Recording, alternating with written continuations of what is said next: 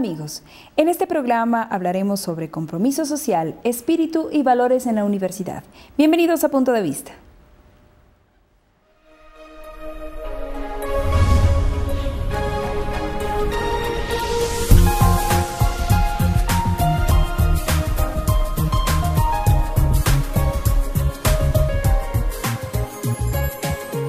Les presentamos a nuestros invitados. Se encuentra con nosotros el doctor Raimundo Sea, director de Asuntos Académicos de la Universidad Nacional Autónoma de México. Está con nosotros también la doctora Ascensión Escamilla, directora de la Fundación Rielo España. Y nos acompaña el doctor José Barbosa, rector canciller de la UTPL. Les agradecemos por aceptar esta invitación. El día de hoy hablaremos sobre compromiso social, espíritu y valores en la universidad. Y quisiéramos iniciar con usted, doctora. Una de las funciones que tiene la universidad es la de generar y difundir cultura. ¿Qué significa esta responsabilidad y cómo lograr este objetivo? Bueno, yo creo que es una responsabilidad enorme porque mm, la cultura es, diríamos, la base que asienta una sociedad. Aunque, digamos, no nos, no nos dedicáramos a educar en cultura, estaríamos recibiendo una cultura y no sería la más adecuada. Entonces la gran responsabilidad es saber qué educamos, para qué educamos y a quién educamos. ¿no? El tema, el gran tema, ¿no? es el ¿qué, mm, qué, persona tenemos delante, qué persona consideramos, qué sentido ¿no? de hombre tenemos para mm, verdaderamente educar a esa persona, a ese gran ¿no? ser humano.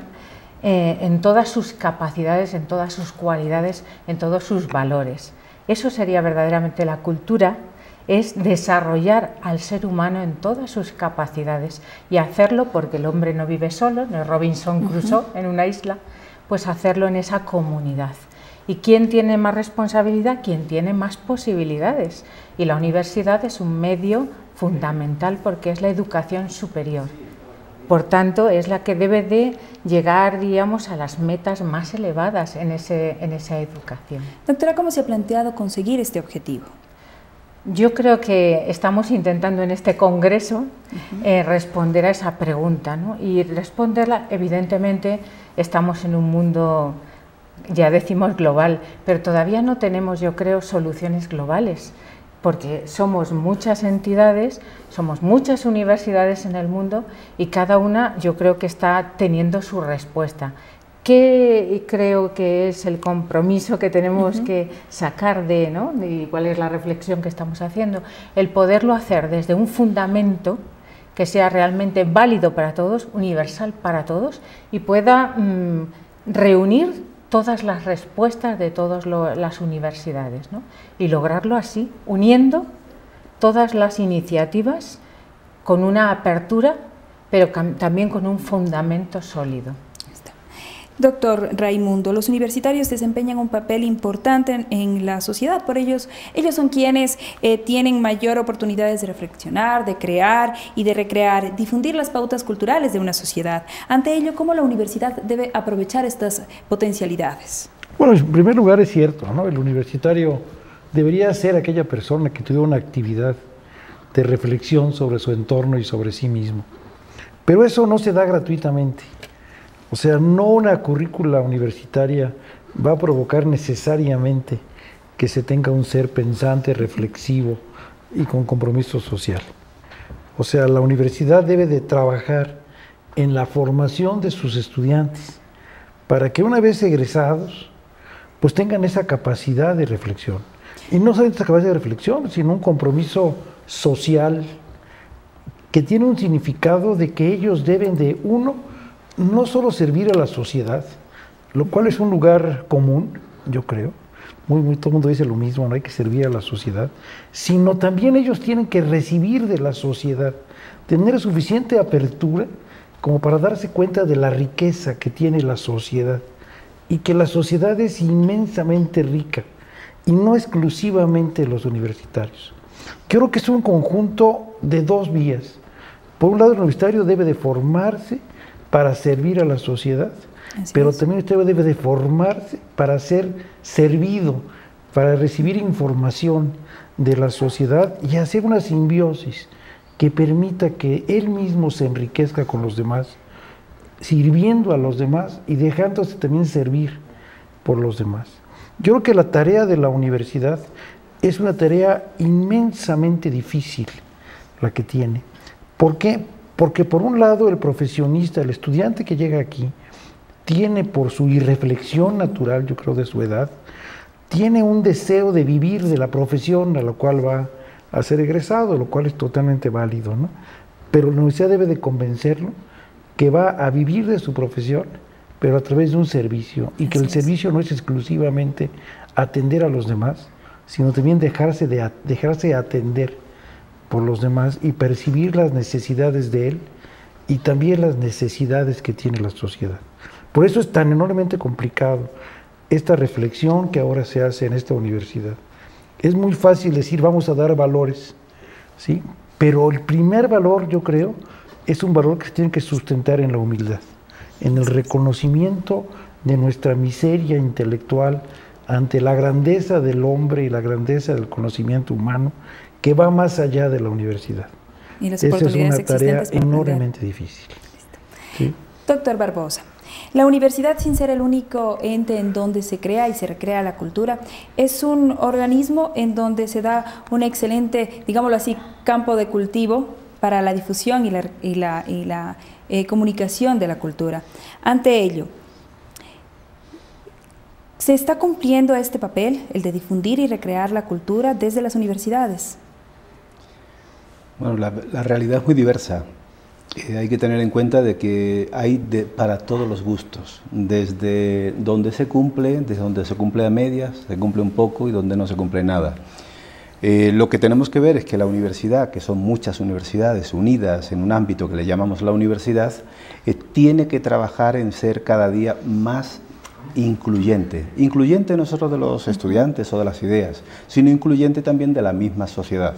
Algo que se le dice muy a menudo es hablar de la torre de marfil, del conocimiento, de las universidades, que los profesores están fuera del mundo, ¿no? y ahí elucubran sobre, no sé, la inmortalidad del cangrejo.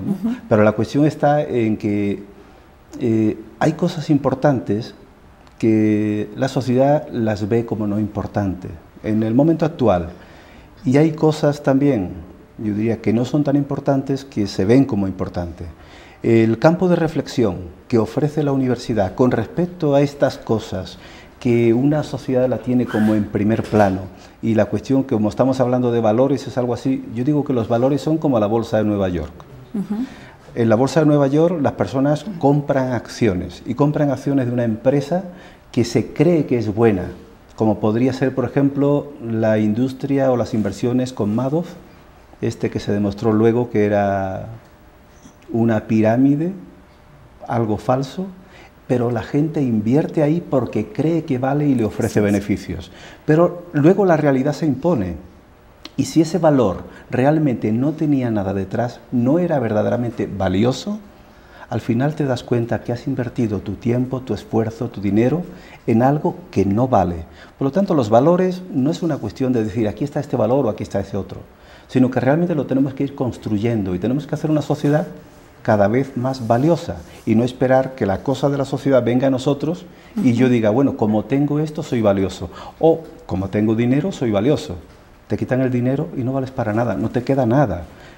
Reflexionar sobre esos aspectos yo creo que es muy importante y saber también que una universidad no puede crecer, no puede ofrecer cosas verdaderamente reales si no está bien inserta en la sociedad en la que se encuentra. Gracias, doctor. Doctora, dentro del tema de responsabilidad social universitaria, ¿cómo usted la define y cómo eh, manejar este concepto? Bueno, responsabilidad social universitaria son tres temas enormes, ¿no? Podríamos hablar algo entendido, pero creo que el tiempo del programa no nos iba a dar para ello. Entonces, eh, ¿cómo lo definiría yo? Es una definición mía, ¿no? Creo que responsabilidad social es saberse miembro de una única familia. Ser consciente de que yo estoy en este mundo y todos los demás seres humanos forman parte de mi misma familia. Porque yo siempre, no sé, me da pena que un lema tan precioso como el de la Revolución Francesa, ¿no? fraternidad, igualdad y libertad. Y libertad. libertad haya mm, llevado tras de sí tantas muertes. Entonces yo siempre reflexiono sobre el tema de la fraternidad ¿no? y digo, realmente cuando uno es responsable de la sociedad en la que vive, cuando se siente verdaderamente implicado. Entonces, si yo me siento verdaderamente miembro de una única familia, soy responsable de esa familia, me siento parte de esa familia, puedo vivir ese, ese gran valor de la responsabilidad y vivirlo en una sociedad y vivirlo en común. Luego, ¿qué tiene que hacer la universidad? Que es el tema, responsabilidad social universitaria. Pues claro, que la universidad es también una comunidad familiar. Yo debo vivir en una comunidad familiar. Luego, la realidad nos demuestra que es muy difícil llevar a cabo esto. Pero en eso estamos, ¿no? yo creo que hay que ser idealistas, porque si no somos idealistas nos vamos a quedar en las metas más bajas. Tenemos que ser idealistas para llegar a las más altas, ¿no? Y yo creo que esta universidad, la UTPL, está demostrando que se puede aspirar a esos ideales, que se puede soñar, ¿no? como hemos oído ya en este congreso ¿no? muchas veces, se puede soñar eso. Y es una forma de vivir esta responsabilidad.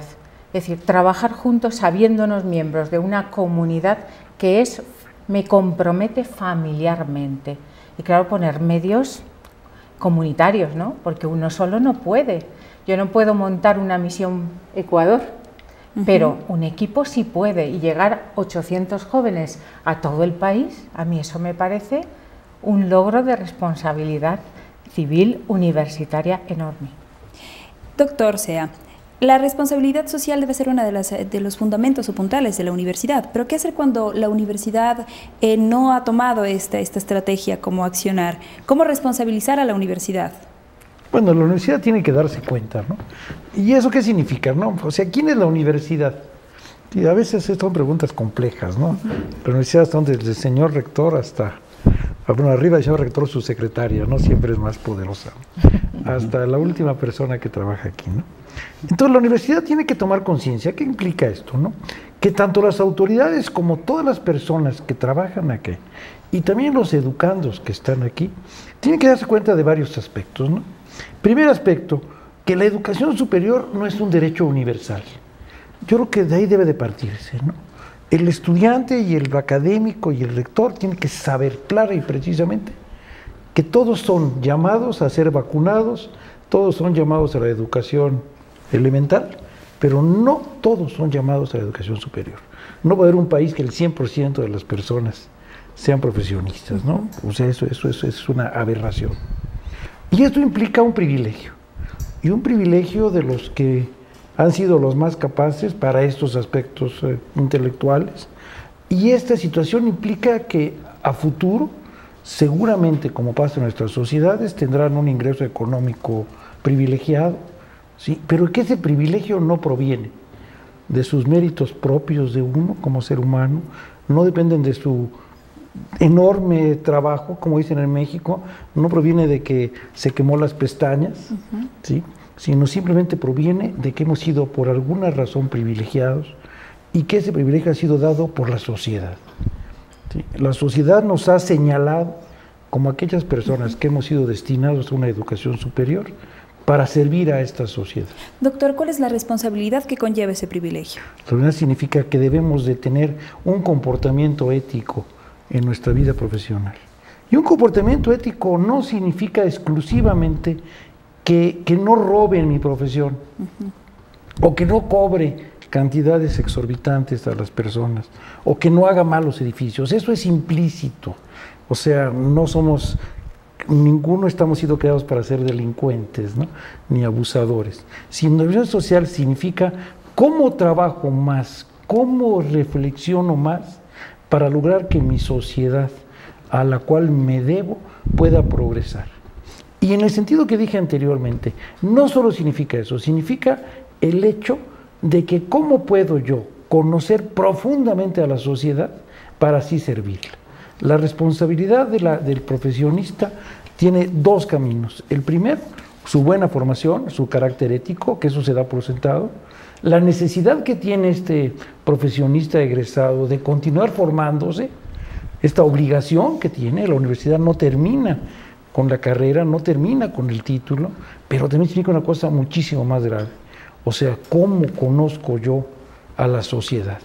Nadie puede servir a una sociedad sin que la conozca. Entonces el profesional debe de estar profundamente abierto con sus ojos, con toda su capacidad intelectual, a conocer y comprender las necesidades sociales y poder resolverlo. Yo creo que los grandes fracasos que ha tenido la universidad en nuestro medio y en América Latina, y yo que en el mundo entero, es que el profesionista se ha sentido el capacitado para dirigir la sociedad, pero sin la obligación de conocer la sociedad. Y sin el fundamento ético. Exactamente. Y con lo cual, pues ya este, pasa lo que mejor no lo platiquemos, pero que sería terrible. Listo, muchas gracias, doctor. Hacemos una pausa comercial, de regreso estaremos hablando nuevamente sobre este importante tema, compromiso social, espíritu y valores en la universidad. Les recordamos escribir a nuestro correo electrónico punto de vista utpl.edu.es, en donde pueden dejarnos sus comentarios y sugerencias. Ya volvemos.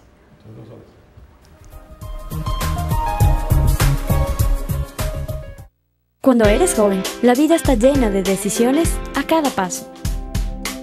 Si te atreves o no a decírselo, escoger cómo quieres verte. ¿Qué tipo de música?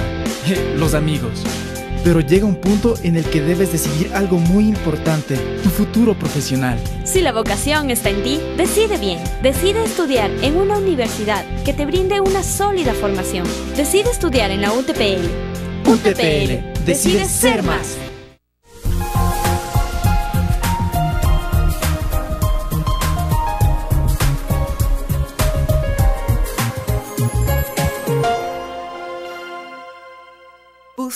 La verdad, haciendo eterno tu sueño, tu ser. Con la ciencia, la experiencia, siempre nuestra, siempre inmensa. Aprendí a luchar, aprendí a soñar, decidí ser más. Sin distancias, sin límites cruzamos alcanzando horizontes. Universidad Técnica Particular de Loja, 40 años formando al hombre a través de la ciencia para servir a la sociedad. Construye, construyamos tu mundo.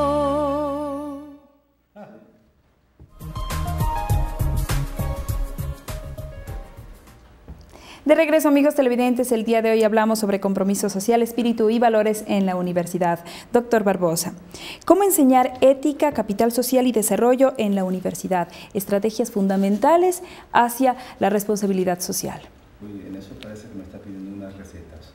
La cuestión está, cada cual tiene unas características ¿no? determinadas y lo importante es poder llevarle algo interesante y algo que permita formar la libertad de las personas lo más importante no es que sepan qué, qué es lo que está bien, porque todos los seres humanos tenemos la capacidad de descubrir dónde está el bien. Lo importante es, en definitiva, que sepan usar su libertad para elegir siempre lo mejor. Aquello que su inteligencia le dicta que esto es lo más honesto, esto es lo mejor, esto es lo más hermoso. Y realmente, eh, si logramos, yo diría, hay algunos autores que hablan de que la ética no es algo que se debe enseñar, se debe persuadir de ella. Es una, una especie de discurso de convencimiento en el que me veas tan entusiasmado en que eso es necesario para, nuestra, para nuestro bien personal y el bien de nuestra sociedad, que los demás digan sí es necesario. Y una vez que crean eso, que puedan hacerlo también y que tengan sobre todo esa yo diría esa fortaleza, ¿no? una fortaleza, porque se necesita una, se necesita una fortaleza para decir, a ver, si usted gana más, mm, gana más dinero eh, siendo deshonesto, pues lamentablemente si me dan una oportunidad de ser deshonesto, yo voy a querer obtener esos beneficios. La cuestión es decir, por favor, renunciemos a eso, renunciemos a eso, porque eso nos pone, yo diría, en una posición de rehenes rehenes precisamente de eso que me atrae de tal manera que me, no me deja actuar libremente. Hay un poema de Antonio Machado que dice, lo dice para la pena, Dice, tengo una pena tan grande que se pudiera decir que yo no tengo la pena, la pena me tiene a mí. Claro, ¿qué quiere decir esto? Es que cuando tú quieres poseer algo, cuando quieres ganar un puesto, se convierte en dueño de mi vida, dueño de mi inteligencia, dueño de mis cosas. Y perdemos lo más hermoso, la libertad para escoger lo mejor. El, vivir la ética debe ser una forma de, vida, como, como, se lo concibe así, debe expresarse en todas las instancias. Es que debe expresarse porque, es más, el ser humano no se siente feliz si no vive lo mejor. Porque aquella persona que ha entendido que es bueno actuar de una manera determinada y que hace una y que hace una sociedad mejor. Y eso lo oímos en todos los discursos y ningún, ni político ni profesor, dice, vamos a vivir de la corrupción, yo soy corrupto y vivo magníficamente. No, nadie dice eso. ¿Qué quiere decir eso? Eso quiere decir que creen que en efecto la honestidad es buena para nuestra sociedad. Pero luego llega esa presión, es decir, ¿por qué unas cosas me ofrecen una serie de beneficios? Y entonces me convierto esclavo de eso. Porque en definitiva, ¿qué se hace con la corrupción? La oculto. Así es. La oculto. No para, no, para no ser encarcelado, no, porque hay un discurso que nadie es capaz de aceptar. Sin embargo, siempre en petit comité, es algo así, aprovechate, no pierdas esta ocasión, qué tonto eres. Y al final llega ocasiones no públicas en las que realmente aquel que vive la justicia dicen es tonto. Quien dice es tonto, sabe que el tonto es él. Así es. Porque está vendiendo, podríamos decir como en la, Biblia, en la Biblia, su primogenitura por un plato de lentejas, pero va a perder todo lo que conformaba la primogenitura. Lo va a perder todo. Y sobre todo su dignidad como persona, porque no puede ni siquiera proponerse como persona honesta, con la conciencia tranquila. Doctor Sea, ¿cómo desde la investigación y la docencia se puede aportar en la formación de profesionales con un compromiso social claro? Bueno, en primer lugar, este, la formación del universitario tiene que, comenzar igual que en los niños, como estamos programados nosotros, ¿no? con el ejemplo. O sea, ante todo el, el profesor universitario tiene que ser un ejemplo para sus alumnos. ¿Un ejemplo de qué? No? Un ejemplo en todos los aspectos desde la puntualidad a llegar a la clase, hasta la seriedad en tratarlos, hasta su respeto a su dignidad de persona humana, hasta hacerles saber la enorme dificultad que tiene la asignatura que está impartiendo. Y la importancia que tiene. Pero lo que es muy importante es la, dificultad, ¿no? No hay nada más triste que cuando un maestro de matemáticas complejas dice, vean, esto es muy sencillo, cualquier imbécil puede conocerlo, ¿no? ¿Sí? este, lo cual es un insulto para los alumnos, ¿no? Uno tiene que saber que, la, que, que su profesor es un individuo profesional que está dedicado a formarlo, a educarlo, y que el ejemplo de su vida tiene que ser ante todo. Por otro lado, la investigación. La investigación es indudablemente la herramienta príncipe, la herramienta rey en la formación de los estudiantes. ¿Por qué? Porque los enfrenta al, descubrimiento de los nuevos conocimientos. Y quizás, de una manera más perfecta, quizás ni siquiera los descubrimientos, porque se descubre lo que está tapado, sino a la creación. O sea, lo hace de alguna manera partícipe de la creación. Cuando un alumno es capaz de hacer un nuevo compuesto químico, por chiquito que sea, o de generar una planta diferente, alguna cosita así, se ha convertido en creador. Entonces la creación es algo fundamental para el ser humano, está metido en nosotros. Entonces la investigación enfrenta al alumno a retos, a retos internacionales, a retos nacionales, enfrenta al alumno a la necesidad de trabajar en equipo, a tener temas complejos, a conocer a compararse él mismo con los grandes autores del mundo, ¿verdad? Y lo enfrenta también a la necesidad de la resolución de los problemas sociales. Doctor, es importante que el docente siempre esté recordando al alumno lo que está haciendo y, el aporte social que cumple su función. Yo creo que por supuesto, pero lo más importante es que, es que, es que la universidad haga comprender al alumno que él es un ser único, irrepetible, importante, trascendente y eterno, y que es un ser importante. En ese momento el alumno agarra una dimensión, de alguna manera, por decirlo así, una dimensión sobrenatural, O sea, el alumno se da cuenta que es un ser tan importante que la sociedad y un conjunto de profesores, a quien admira, etcétera, están dedicados a su atención y a su formación. Y que la investigación es el mecanismo idóneo, sí, mecanismo idóneo para la realización de esta formación. Y una cosa que es fundamental, también tiene el estudiante que darse cuenta que la investigación no es un proceso sencillo, no es un proceso lúdico, no es un proceso que da necesariamente satisfacciones, sino es un proceso difícil, arduo, etcétera, pero que escalar ese monte pues va a dar el resultado maravilloso de su formación. O sea, la universidad es ante todo una generadora de conocimientos, pero para mí conocimiento significa los más importantes, generadora de los conocimientos internos de los alumnos, que su gran conocimiento es la comprensión de su dignidad de persona humana y de su trascendencia. Y una vez que comprende su trascendencia, podrá servir a la sociedad. Porque el que se siente polvo, el que se siente miseria absoluta, el que se siente no va a aportar absolutamente nada. Y claro, con una dosis de humildad, que esto debemos de darla, pero en, dosis, este, no homeopáticas, sino en dosis de toneladas. Doctora Escamilla, ¿cómo están las universidades en cuanto a la responsabilidad social en el mundo?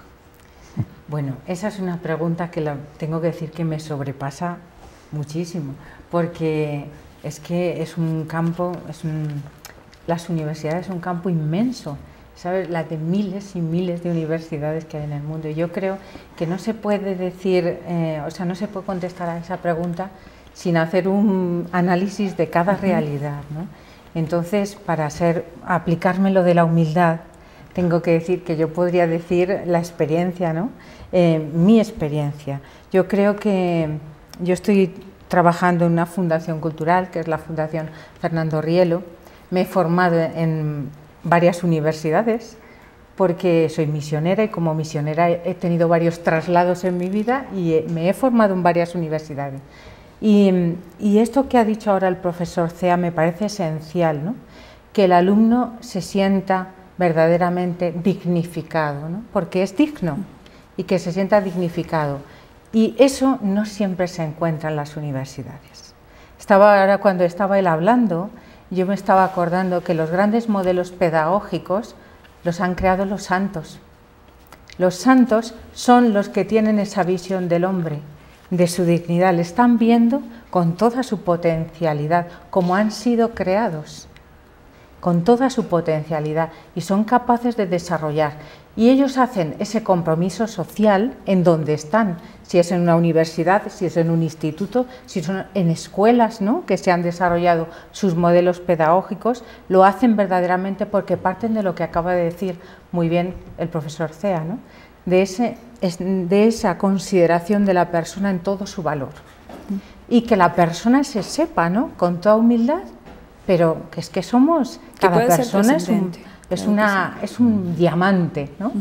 ¿Qué pasa? Que la universidad tiene que hacer de ese un diamante que a veces es un carbono puro, bastante feo por fuera, y tiene que limar ¿no? hasta que va sacando todo su brillo interior. Que eso es, ¿no? la educación es un trabajo precioso de lustrar algo bellísimo que no se ve y que tiene que salir a la luz. Y es el compromiso social, va de suyo si yo estoy considerando esa dignidad de la persona y que esa persona va a trabajar con otras personas con la misma dignidad. Y se va a encontrar que hay una serie de necesidades en su alrededor, conociendo su realidad porque se encuentra como parte de esa familia humana y entonces va a trabajar por ello y lo va a hacer desde todos sus conocimientos adquiridos en toda su escala desde en toda su escala desde la escuela, desde el instituto, desde la universidad y con más potencialidad cada vez porque tiene más elementos ¿no? para poderlo llevar a cabo. Doctor Barbosa, ¿cómo la UTPL camina a ser socialmente responsable? Bien, bueno, son muchas acciones las que se tienen que poner en ese, en ese camino. ¿No? Y desde luego tiene el, primer, el primer compromiso es que todas las personas que conforman la institución se acerquen cada vez más a ese compromiso, porque la universidad no es sino la suma de los esfuerzos de cada una de las personas que hacemos la universidad. Eh, tenemos acciones en las que participan muchos alumnos, como la Misión Ecuador, en el que están llevando pues evangelización y también ayuda social en muchísimos, en muchísimos lugares del país, los más apartados, eh, en, tanto con los niños como con los jóvenes como con los adultos. Tenemos que ver también que toda, todo el personal que trabaja en la Universidad Técnica Particular de Loja, y tengo que agradecer además que tiene un nivel de compromiso verdaderamente altísimo, yo creo que, no sé, tendría que decir simplemente que estoy muy orgulloso de ellos, pero uno no basta con que sea bueno, cada día si podemos ser mejores, tenemos que serlo. Y naturalmente las instituciones está compuesta por muchas personas, es decir, todos ¿Alguien me puede dar algún ejemplo o alguna acción que, no sea, yo diría, coherente con esto que estoy diciendo? Pero tengo que decir que de la misma manera que una persona, a pesar de que tenga defectos, se le puede decir que es una persona buena o es una persona habilidosa o es una persona, cualquier virtud que queramos poner, eso no significa que no tenga defectos, porque afortunadamente podemos ser mejores cada día pero intentar en ese camino y las autoridades también que pongan los mejores caminos. Yo creo que no solo para la universidad, para cualquier institución debería ser así. Los mejores caminos para que todas las personas que conforman una institución puedan vivir aquello que proponemos y no simplemente decir una cosa, oiga, si usted no hace eso, le castigo. Eso no es ningún estímulo. Lo importante entonces es tener bien claro el objetivo, ¿no? Eh, bien claro el objetivo y yo creo que en este apartado sí tengo que decir, eso es una realidad, la realidad no es completa, pero yo sí estoy seguro de que el nivel que tiene de compromiso el personal de la Universidad Técnica Particular de Loja está muy por encima de lo que voy viendo en el ámbito de la sociedad. Creo que es una situación excepcional y eso lo corroboran muchas personas que acuden a la universidad y vienen a decirlo, ¿no? Y encuentran en Loja, yo creo que un mundo, incluso cultural, en, todas las personas eh, diciendo no lo encontramos en otro sitio. No quiere decir que no exista. La cuestión está en que es como cuántos alcanzan ese grado. ¿no? Cuantos más sea, si podemos ser todos, muchísimo mejor. Muchas gracias, doctor. Hacemos una pausa comercial, amigos televidentes. De regreso continuaremos hablando sobre el compromiso social, el espíritu y valores en la universidad. Ya volvemos.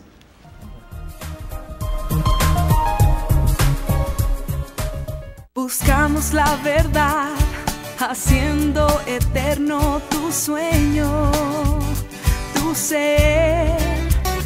Con la ciencia, la experiencia, siempre nuestra, siempre inmensa. Aprendí a luchar, aprendí a soñar, decidí ser más. Sin distancias, sin límites cruzamos alcanzando horizontes. Universidad Técnica Particular de Loja, 40 años formando al hombre a través de la ciencia para servir a la sociedad. Construye, construyamos tu mundo.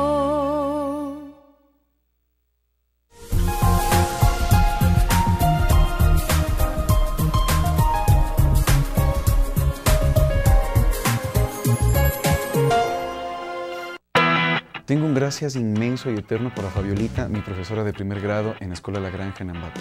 Agradezco a la vida haber tenido maestros de la talla de Víctor Moreno Iñiguez, segundo Puertas Moreno y segundo Cuevas Sergi. Le agradezco mucho a Cecilia Pozo de Cuevas, profesora de orientación vocacional a mis 12 años. La labor del maestro nunca se olvida, por eso la reconocemos año a año. Vidal convoca a todos los maestros a la cuarta edición del concurso de excelencia educativa. Es nuestra manera de decirles gracias.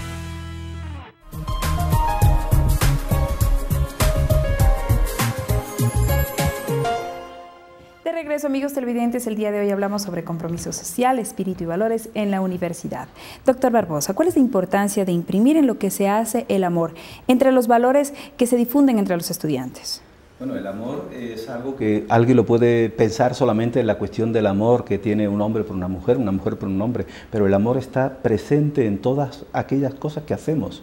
Y de hecho nos damos cuenta que cuando no amamos algo, son de esas ocupaciones que nosotros no le dedicamos tiempo, no le dedicamos esfuerzo y no ponemos además todo el empeño. Nos falta hasta fortaleza para llevar a término algo que no amamos y que no elegimos. Eh, El amor es el gran motor de la historia, dice Fernando Rielo. ¿no? Y, el, y, el, amor realmente es el que es capaz de mover vidas enteras. Si, si, nos damos cuenta, la mayoría de las, personas, de las personas han tomado decisiones por amor. Pero claro, el amor no significa dejarlo solamente en los elementos de cosas que me atraen, ¿no? porque podemos amar la ciencia, podemos amar el país donde estamos, podemos amar nuestro entorno, podemos amar a nuestra familia, pero no amamos de la misma manera a mi padre, que a mi madre, que a mi hermano, que a mi primo, que a mi compañero. Hay muchas maneras de amar, pero cada una tiene la forma más perfecta. El espíritu lo que te hace es dirigirte el amor y ponerte en el amor en la buena dirección, en la mejor posible. Si ponemos el amor en todo lo que hacemos, en la responsabilidad social, en los valores, ¿estamos dispuestos a dar la vida por algo? ¿Qué, qué significa el amor? ¿Hay algo que yo quiera más que mi propia vida? En, el, en la edad de oro, en la edad clásica ¿no? de la literatura, normalmente las historias eran siempre la entrega de la vida por el honor. Uh -huh. La gente por el honor daba la vida. ¿Por qué damos la vida a nosotros? Y eso es lo que tenemos que dar, nos tenemos que dar cuenta. Si no doy la vida, y dice José Ortega y Gasset, decía, ¿no? Eh, lo que no nos incita a morir no nos, no nos excita a vivir. No merece la pena vivir por algo por lo que no estamos dispuestos a morir. A morir así es. El ejemplo. Cristo. Una consulta para ustedes. ¿Creen que es importante ayudar a los estudiantes universitarios a responderse preguntas como ¿quién soy? ¿Hacia dónde voy? ¿Y qué motivos justifican mi existencia? Esta es una pregunta para los tres. Para los tres. Mm. Yo creo que no es importante, es fundamental. ¿Sí? O sea, si un alumno, si una persona de 22 años de edad no se plantea esas cosas, es que su proceso formativo no ha empezado aún consigo mismo, ¿no? Entonces la universidad como tal, en su gran compromiso social, pues implica, compromiso social implica obviamente hacia la sociedad, pero también implica a la persona individual. Entonces la universidad tiene que propiciar un proceso reflexivo. O sea, la universidad no es una dispensadora de, de libros de texto o de páginas de internet, no lo es.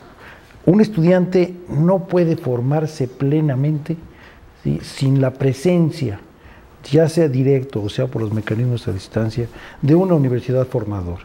Y la formación del individuo comienza con los cuestionamientos sobre su persona. Y entre que cuestionas a tu persona, cuestionas tu realidad y cuestionas la realidad que tienes cerca, en tu familia, en tu entorno, en tu ciudad, uh -huh. en tu sociedad, en el mundo. Pero eso te hace un proceso, obviamente, de humanización. O sea, la humanización en el ser humano comienza necesariamente ¿sí? en el compromiso de que tenemos todos los días de resolver nuestra pregunta diaria de quién soy, quién soy, para qué estoy, a quién sirvo, y no las preguntas de la intrascendencia lúdica de la sociedad del consumo actual. Doctora Sea. Bueno, pues yo mmm, está, justamente antes de venir al programa, ¿no? estaba hablando con uno de los jóvenes profesionales de la universidad y hablamos que esas, esas preguntas son las que deben primero hacerse, para poder responder todas las demás, porque si no las demás están en el aire, no están asentadas en ningún lugar. Y tenemos que asentar las cosas, ¿no? porque si no nos quedan volátiles, como las palabras que se las lleva el viento, pues las cuestiones si no están asentadas en algo, un eje central de nuestra vida, pues se las lleva el viento también. Entonces, ese eje mmm, de las preguntas esenciales no se pueden hacer como una introspección, porque eso es una invitación a la egolatría. Uh -huh. Yo me miro a mí mismo por qué soy, de dónde vengo, a dónde voy, y no hago más que mirarme a mí mismo y pierdo eso que decía ahora el profesor, ¿no? esa visión de los demás, esa visión de por qué estoy aquí, para, como ha dicho esta mañana, bueno, ayer, no me acuerdo ahora si fue esta mañana, nuestro presidente, ¿no? Jesús Fernández, es el que no sirve, no sirve para nada. Y es así, el que no sirve, no sirve para nada. Tenemos que poder servir. Entonces las preguntas nos las tenemos que hacer, pero nos las tenemos que hacer teniendo en cuenta quién somos, uh -huh. cómo somos ¿Y cómo somos? Pues tenemos una integridad de espíritu, alma y cuerpo. Y esa pregunta me tiene que responder a esa estructura integral. Y el espíritu humano es un espíritu abierto, no solo cerrado a lo que yo soy, yo conmigo mismo, con mi amor propio, sino abierto a la trascendencia.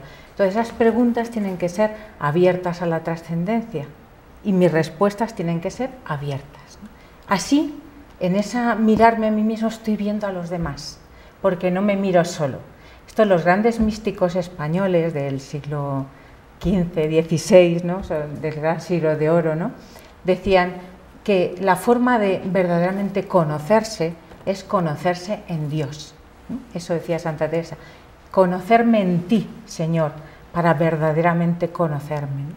Porque si no, nos cerramos a nosotros mismos y no vemos más allá de nuestro ombligo.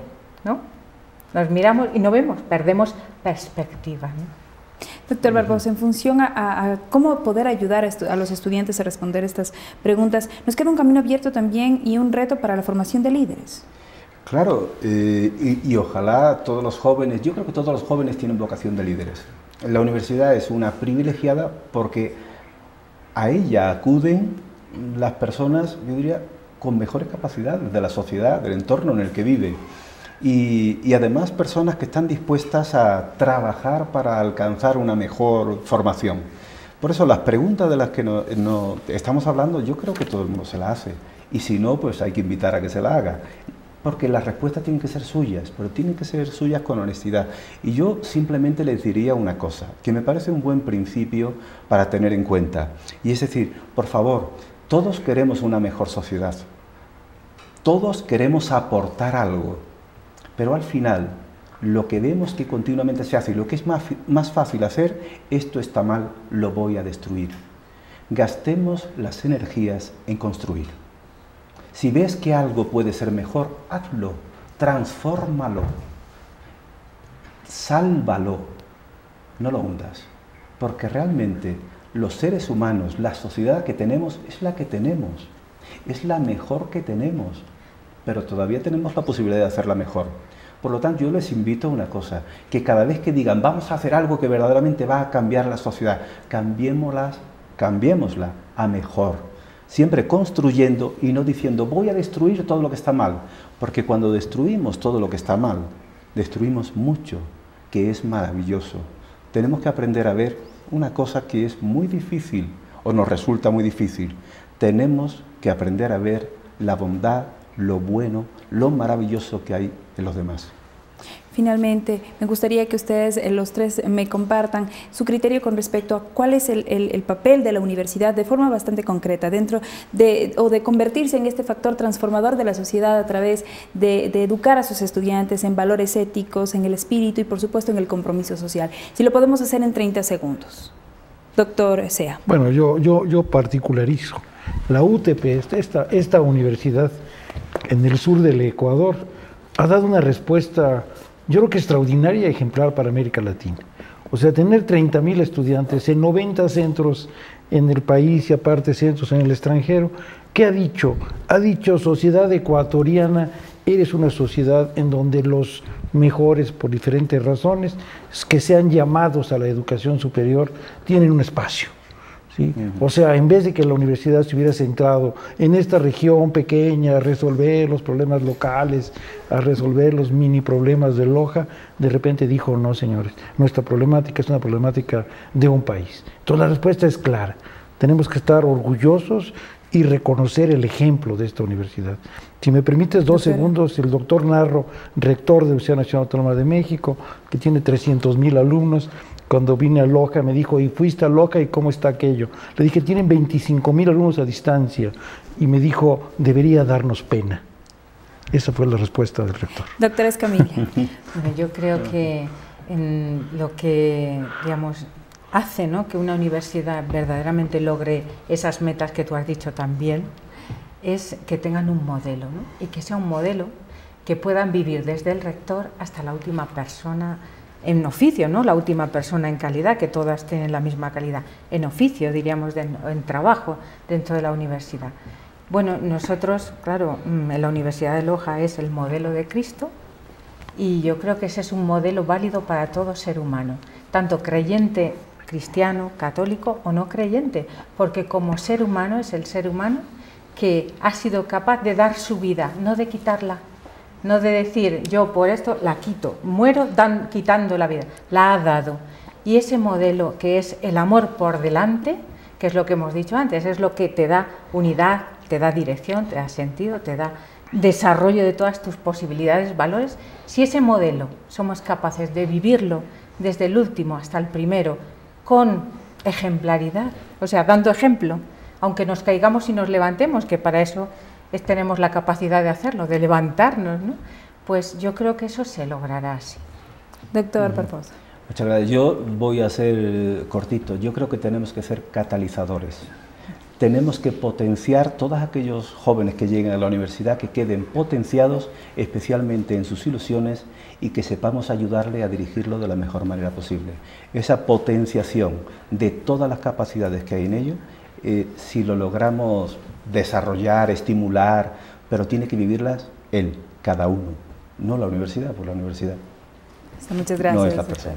Finalizamos con una reflexión. En este nuevo milenio se requiere de una mayor eficiencia, eficacia y pertinencia de los procesos formativos en la enseñanza superior, no solo en cuanto a la elevación del nivel técnico profesional, de sus egresados, sino también en sus cualidades morales. Las universidades tienen una gran responsabilidad y compromiso social en ello. Le agradecemos a ustedes por acompañarnos el día de hoy. Y a ustedes, amigos televidentes, muchas gracias por su sintonía. Les recordamos que pueden escribirnos al correo electrónico punto de vista utpl.edu.es. Muchas gracias. Que tengan una excelente noche.